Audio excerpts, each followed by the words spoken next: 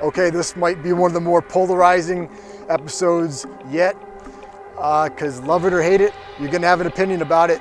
This is the Fairlife episode. Horrifying as that might sound, I gotta wait for the beat to drop. Okay.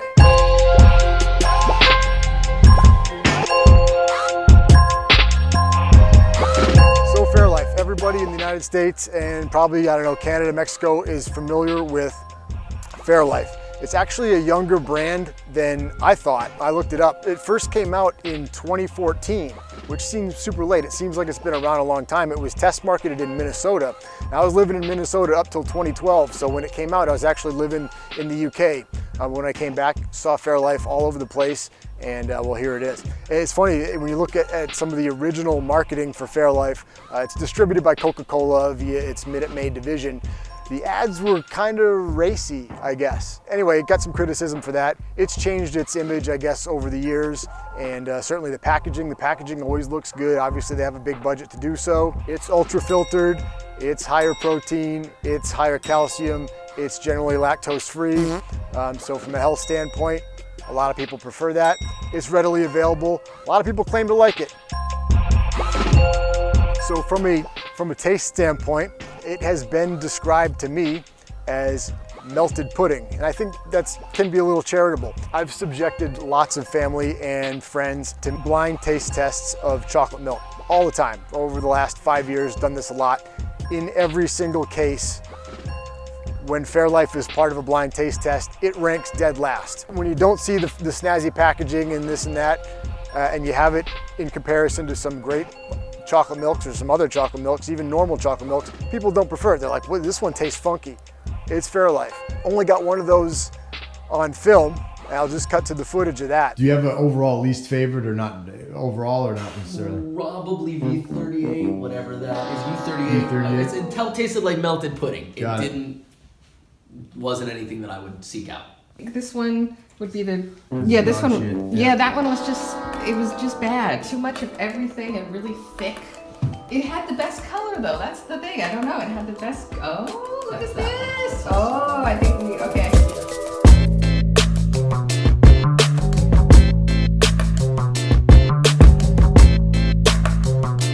Fairlife did dabble in a whole chocolate milk for a period of a few years, and I did have this in Pennsylvania.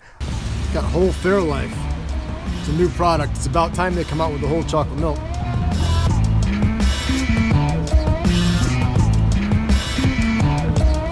It's got that same Fairlife taste. It's the monk juice extract. It's that kind of art. I say it's artificial, but it's that non-sugary sweetness that just doesn't age well in the mouth. And this on the cap, it says best by March 28th. Uh, and I bought this on January 28th. So I know, fresh milk that's good for two months. In the bin it goes. You can't find it now in stores. Uh, and they've had, also had some other products that have gone by the wayside. There was like a honey and oats thing. There was uh, a Yup double, double, chocolate. There was a Yup 1%, which you could find at some point. Um, a few other products out there with the Fairlife name, but this is what's available right now as far as I can tell. And I've looked quite a few, you know, in quite a few places. I've got to be sat down for this. All right, so we're just gonna start with the regular run-of-the-mill Fairlife. It's a 2%, ultra filtered. Had this a lot of times. Uh, I assume most everybody out there has tried this if you're watching this video.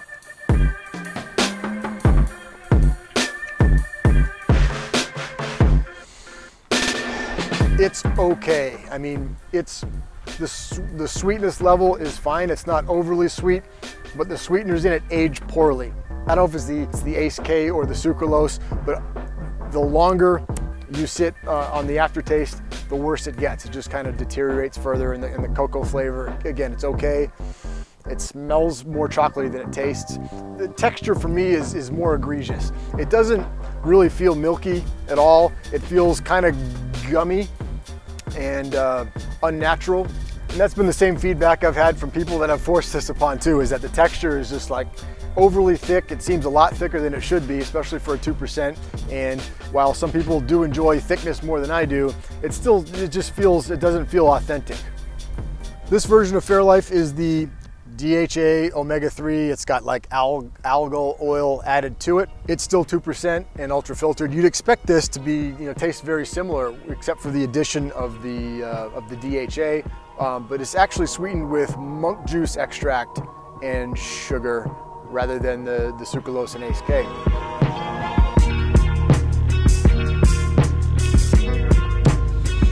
So texture, uh, monk juice extract is really hard to do well. It's a little bit restrained here. It's not super heavy handed, but it's still there and it ages poorly again in the aftertaste. There's a twang to it in the back of your throat. It's not satisfying. From a texture standpoint, this is a little bit milkier than the normal Fairlife for sure. It's a little bit more, I don't know, lithe. Uh, has a, a slightly lower viscosity and it feels a little bit more true on the palate.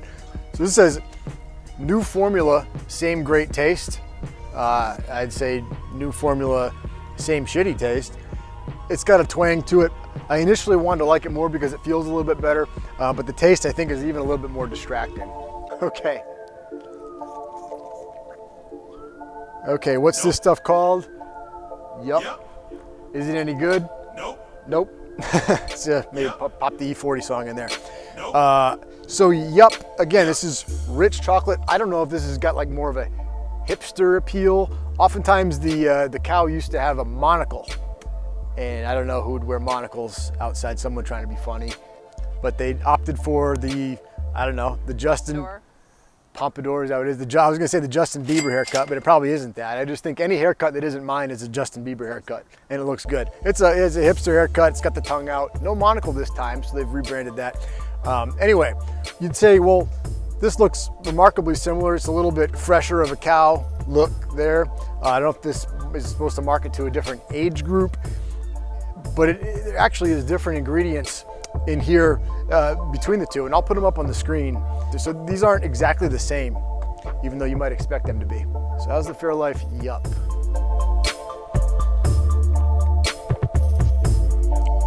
Nope. About what I expected. I think I prefer this the Yup to the regular 2% Fairlife. Sort of splitting hairs there. It's got a nice dark brown look. There's definitely a chocolate hit to it. It does suffer from the same post-sip kind of aftertaste funkiness. Funkiness. First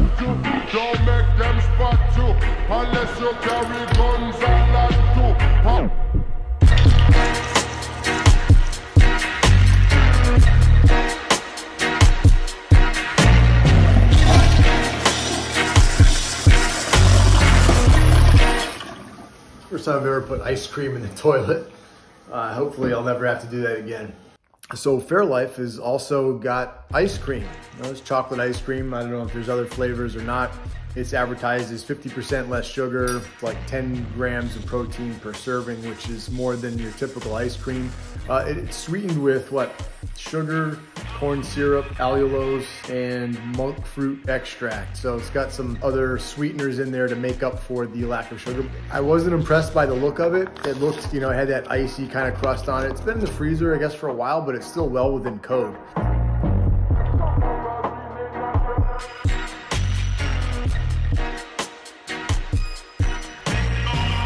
Oh man, it's actually a lot worse than I thought it would be. I thought it was gonna be passable, right? Oh no, this isn't. It's such a gummy, um, non-creamy, like it doesn't melt in your mouth. It's like, I'm trying to think of what the texture is even like. like some kind of slime or something like that. It's not a, a great ice cream flavor, especially the longer you go into the aftertaste. The, the texture is unbelievably gross.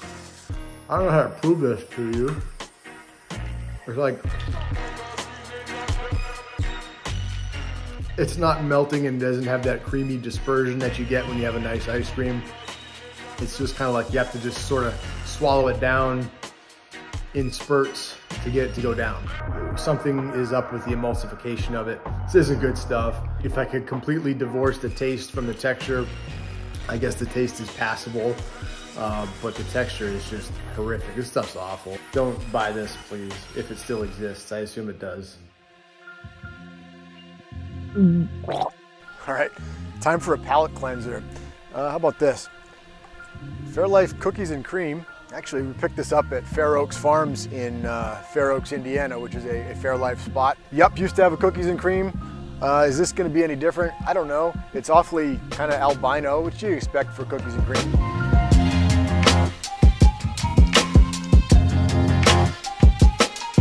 No, man, it's, it's a weak flavor actually. A weak cookies and cream flavor. Oftentimes you'll get it where it's overly sweet and sugar laden. This isn't that at least, uh, but it's a very subtle flavor. Almost tastes like vanilla milk to me. But I guess it, it feels okay. It's smooth. Doesn't have as much baggage maybe on the back end. Just doesn't have as much flavor in general. When the flavor of Fairlife is generally not that great, maybe that's a plus.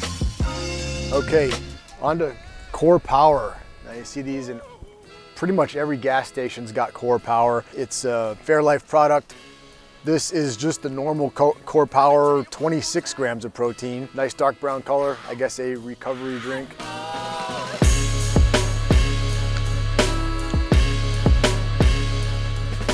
Okay, that's kind of gross. This one is sweetened with monk juice extract, Ace K, and sucralose. And uh, I don't know, they all suck, I guess. It has a very chemical-like taste to it. Uh, it's not satisfyingly chocolate at all. It looks like it would be. I, I, don't have much to say about it. It feels girthy. I'm sure it's got all the whatever the, the protein powder in it and whatnot, but there's much better products than this it, eh, with similar statistics. I'd look at the, uh, for national brand, the Shamrock Farms uh, Rockin' Protein Recovery one, I think. Actually tasted pretty good. Okay, Fairlife Core Power Elite. Now what makes this elite? Uh, I guess the fact that it has 42 grams of protein in a bottle. That's an awful lot. Now we'll notice at the top of the bottle here, it's ripped off. It says great taste guarantee. Uh, I don't know if this has a great taste or not. Let's find out. No, it has a bad taste. Check, check. Look at this, the scum on the top. I mean, you know, after you shake it up and you let it settle, you're not supposed to see this when it's inside of a bottle, but when you pour it into a cup, it's just kind of gray, it's ugly. It's got like a pond scum on top of it and bubbles that have been like calcified into what looked like ice. Oh, getting some of that skin. So I'd say the, one of the, the, most egregious thing about this, doesn't taste good. It's not very chocolatey at all. It's got a chemical taste to it, but there's like zero salt. It's almost got like a negative salty quotient to it, which doesn't give you any kind of resolution on the on the back end of the sip. It's, make this a little bit saltier would be slightly more palatable. This stuff's pretty bad. Yeah. Last and uh, maybe least, based on my experience, is this protein nutrition plan high protein stuff. Now, where do you find this?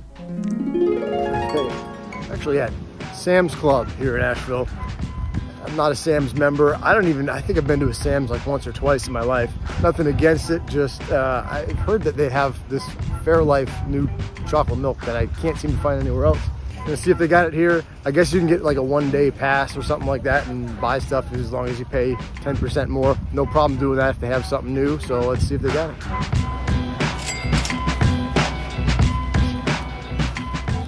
I guess that was successful. Success comes in variety of forms. I don't know if paying 17 bucks for a bunch of Fairlife is successful, but in my world, I suppose it is. I'm gonna review it up here and uh, it's gonna be part of the Fairlife episode. Gotta be complete about it. For why, I don't know. Just an odd obsession of mine. Uh, but maybe it tastes amazing, who knows? Oh. This is so bad. Okay, and look at the bubbles on that. Look, th tell me that looks natural to you. Well, I can't even pop it with my finger. I'm gonna try to pop it near the microphone. You can hear it crunch. Yeah, it's like solidified into a scummy glue. And I mean, I just poured this out. This stuff is well in code. It is uh, March.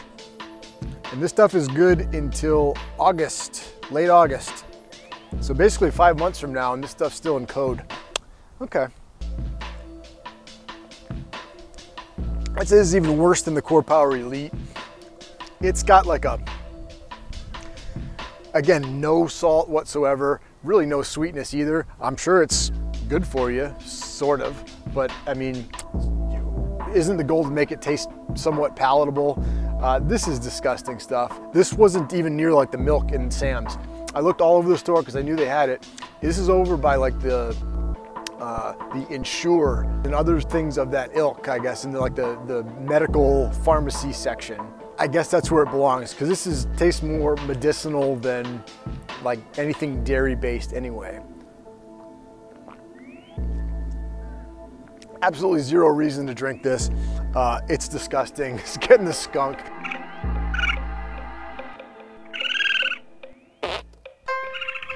So in summary, uh, the, the one that I would drink if I had to would probably be the Yup. This one or the straight up regular Fairlife. Fairlife. I will have Fairlife again in the future because again, its best attribute is the fact that it's available. Uh, not that it's good, not that it's creamy, not that it tastes you know, has a great chocolate flavor or anything like that. It certainly delivers on some of the functional health aspects of it that for people who are looking for that. Obviously, I think everything here is, is lactose free, which for, for lactose intolerant people is great. I won't, I don't disparage that. These, you know, certainly have like higher protein, lower sugar. If you're looking at it for like a, from a recovery aspect, um, more than likely you've come across these at a convenience store and you get it more out of the fact that it's available than you know, specifically looking for that because you love the taste. I get it. For me, it just doesn't deliver what chocolate milk, it, it doesn't have the soul of what chocolate milk is. Uh, not even close. It's all been ultra filtered out, uh, you know, ultra pasteurized and homogenized the hell out. So anyway, that's the Fairlife episode. As you can see, I, I'm not, this is like the first episode that I'm not like super full. I don't really want to drink this stuff. I've already had a lot of it anyway. It's just not very good. It's not worth the calories for me right now. So we're going to go have some dinner. Okay.